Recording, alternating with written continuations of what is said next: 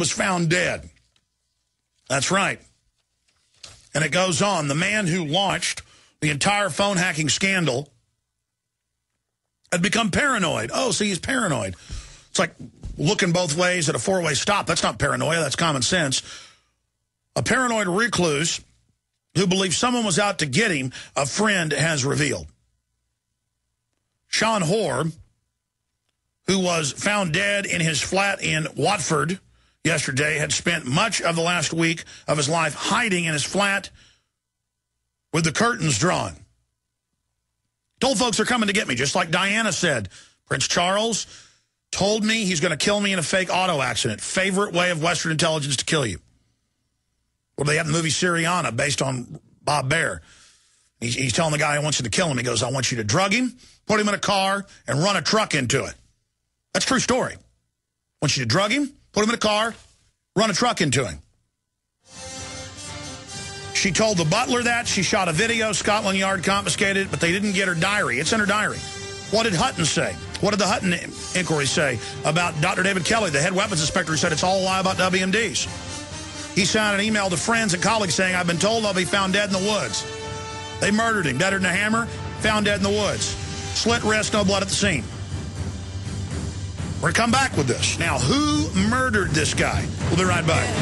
Okay, so this guy's now been dead since yesterday morning in England. And within 20 minutes of them announcing they'd found the dead body, the police walked out to the press cordon and said, we don't think there's any foul play. Okay, a guy is telling his neighbors and everybody that they're out to get him. He's scared for his life. He's the person that blew the whistle and said, no, this goes directly to the head of News of the World, who himself openly works for David Cameron. Okay? Now, he's dead.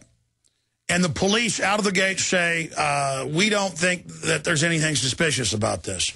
How asinine is that? And, of course, the police, you have the police chief of, of London, incredibly powerful position, the commissioner resigning. You have the head of Scotland Yard uh, resigning, one of the oldest law enforcement agencies in the world. You have all this going on, and a guy at the center of it's dead, and the police say, nothing to see here, move along. And there's articles out calling people conspiracy theorists today in the news if you think this is suspicious.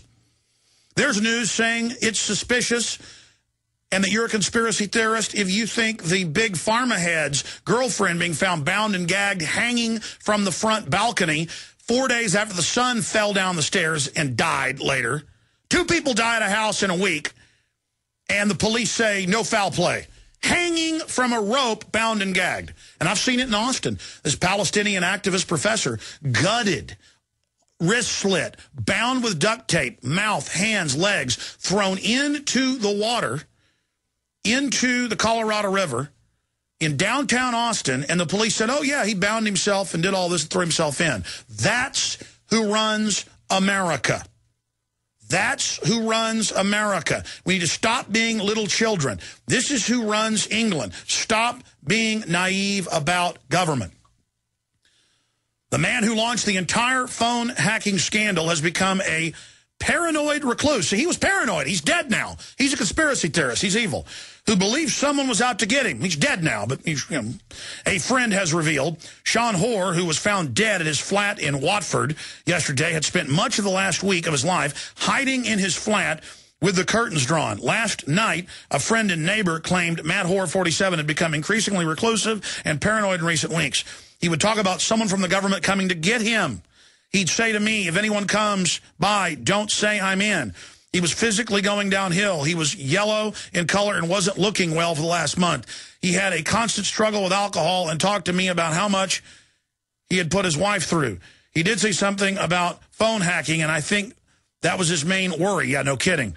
He was had definite concerns with the media. He did mention he was paranoid and would mention conspiracy stuff. See, conspiracy. He's at the center of something that is very probably going to bring down the prime minister of the United Kingdom. The two head police chiefs in the country have had to resign. They've arrested the head of News Corp. There's bribery scandals, intelligence ops, spying on Parliament, all of this coming David Cameron runs to South Africa. All of this is going on, and you are a conspiracy theorist if you are the guy that released all this info and is the key witness, the key witness, and you tell people they're out to get you and you die. Princess Diana said, Charles told me he's going to kill me in a fake auto accident in a video and in a diary. Scotland Yard raided on record, got the video, not the diary. It got out. That diary's public and, is, and has been out for many years. Newspapers have reported on it. Charles told me he's going to kill me in a fake auto accident. That'd be like if I said, my wife told me that if I don't shape up, I'm going to be uh, uh, found uh, dead in the lake. And then I'm found dead in the lake. And there's a video and a diary. Oh, oh they're not going to question my wife. I mean, this is incredible, ladies and gentlemen. Same thing with the Hutton inquiry. It came out that Dr. David Kelly, head weapons inspector, said there's no WMDs. He was going to testify. He told his friends, I'm going to end up dead in the woods, I've been told, but I don't care. I'm going to tell the truth. People walk up in the park at dawn, see five men in black uniforms, or was it four, run away from his body. This is on record. The police come and say, nothing to worry about. He slit his wrist, no blood at the scene. Then it was, oh, he took pills, two undigested pills. They murdered him.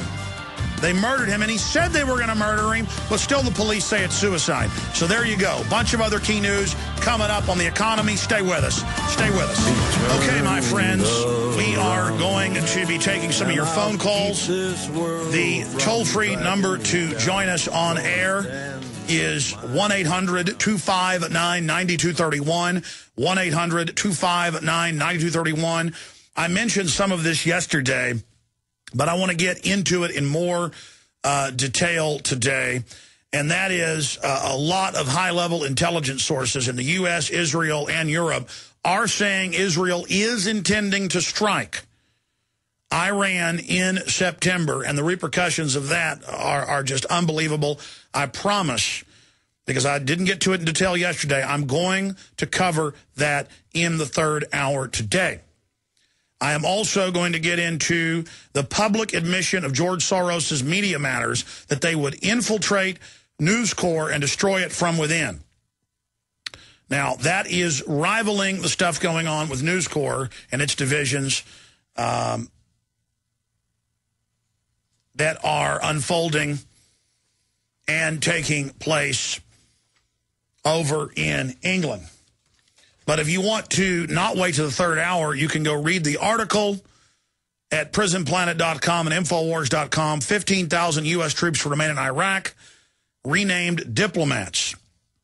And then in this article, it gets into the reports that there is a plan to attack Iran in September. So That is coming up. Now, again, the toll-free number to join us on air today is 800-259 1-800-259-9231, and we will get you up and on the air. We have uh, several guests joining us today. We have uh, Corbett from the Corbett Report popping in in the last 30 minutes to look more at the mysterious uh, death uh, of the key whistleblower at the heart of the hacking scandal and bribery scandal that threatens to bring down the British government. And he says, people are after me. I've got to hide out. I'm in danger. There's a government conspiracy dealing with the hacking. He's found dead. The cops, within 20 minutes, walk out and tell the media, no foul play. We don't think anything's going on before an investigation was even done. Go away. That's always the sign. Oh, we just found the Pulitzer Prize winner who wrote about the government drug dealing, got a new book coming out in a few months. We just found him shot twice in the back of the head in California at his home. Uh, he told folks people were breaking in his house and threatening him, but uh, uh, we believe it's normal to shoot yourself twice in the head. It'd be hard enough to be able to bring a hammer down on your on your fingers once, much less twice. Can you imagine trying to shoot yourself in the in the in the in the first the back of the head and, and then blew his jaw off in the side of the face with a shotgun? Can you imagine? I'm tough. I can shoot myself once with a shotgun, and I'm so tough with that I then, I then I shoot myself in the face. That's how tough I am. Let me shoot myself in the back of the head here. Let me, and and let me shoot myself from the side and blow my whole jaw off. Because I'm tough. Yeah. Princess Diana, Dr. David Kelly. Now this poor whistleblower. They come out and they say, I've been told I'm going to get killed. Someone's coming to get me. There's a conspiracy over this whole hacking situation. Oh, gee, he's the key witness and everything. No one would think anything of him just suddenly dying. No, no. And they actually say, you know, in the articles, there's a whole bunch out today, don't be a conspiracy theorist, okay? You know, if uh, a kid falls down the stairs and dies, and four days later, the woman who was watching the child, the girlfriend, is found hanging from a balcony, bound and gagged, hand and feet dead, and the police within minutes come out and say, no foul play, move along. We're not, we don't think this is suspicious. That, that, that's normal. That's normal. Don't be a conspiracy theorist, okay? Governments never kill people. It's like that line in The Godfather 1 where uh, Al Pacino uh, character is talking to his girlfriend, and she says, come on, Michael. That's ridiculous. Presidents and senators don't have people killed. And he says, oh, who's being naive now, Kate? Oh, come on, Michael. Come on, Michael. Because you know, she, she knows he's been involved in killing people to protect his dad. And she says, Michael, it's terrible that they're killing people. It's horrible. And he says, Kate, that's how things are done. That's how presidents and senators operate. And she says, Michael, presidents and senators don't do things like that. And he says, who's being naive now, Kate? Stop being naive. They're going to kill me. I'm hiding out in my house. I'm the main witness, bringing the whole government down. Dead. Please come out. Okay, news media. Nothing, nothing to see here. No foul play. Move along. yeah. You know, back in the uh, early 90s, it was a joke when you'd get arkancided with your arms, legs, head cut off, and they'd say it was a suicide. Or shot off the road, you know, hundreds of bullets in the car. Wow, they just came in here with another insane headline. This is up on uh, Infowars.com. Arkansas town seeks to ban free speech, formation of groups. I remember hearing about this a few days ago and couldn't confirm it, but here it is, local Fox 16. We're going to play that coming up later. Mayor Ernest Nash commented, this is America, even though this is uh, Gold, Arkansas, it's still part of America, and in America, you can't just vote to take away somebody's constitutional rights. Well, why not? They do it out in Quartzville, Quartzsite, uh, Arizona. Yeah, I told you about Arkansas when we are talking about Quartzsite in Arizona. I've seen a lot of newscasts where they go, we have daytime curfews in this city, and we and it showed people driving out of their neighborhoods having their IDs checked, and they said, martial law is in effect. The city council voted for it. Why not vote? Then you can be put into work brigades for the city council. Well, that's all under federal executive orders, and the threat fusion centers are teaching the cops how. G-O-U-L-D, I guess that's Gould, Gold. Arkansas is a small town of 850 people. In the uh, city council has its ways. Those 850 people will be barred from gathering together to discuss city matters without approval from the city government. Well, why not? Bill Clinton started it, Bush expanded it, and Obama cemented it that you want to demonstrate against him, you got to get a permit. Of course, they deny him most of the time. And then you're off at a free speech zone miles away where nobody can see you. And then a lot of times the riot police just show up and go ahead and rubber bullet you for good measure. And if, and, and if they don't have an excuse, they openly hire thugs that work for them to turn a trash can over. The cops then wave them off. They've been caught all over the world doing it. Canada, U.S., England, Switzerland, um, Italy, Greece. And then they rubber bullet the crowd with women with baby strollers. Now, this is how tyranny's done. Mayor Ernest Nash is completely opposed the plan and is willing to go to court rather than see the ordinance pass. This is still America. You can't vote and violate people's constitutional rights, he said. Last Monday, the city voted to ban groups from gathering or forming without city approval. Ha ha, boy, that's freedom. That's, that's, that's redcoat behavior. That's North Korea. Sonja Farley, a member of the uh, city council, said that no matter the group, if anyone meets to discuss the city, the meeting must be approved by the city. You don't meet to talk about what the city's doing. boy, you better believe they don't want folks getting organized and getting them out of there. We got to get somebody on about this.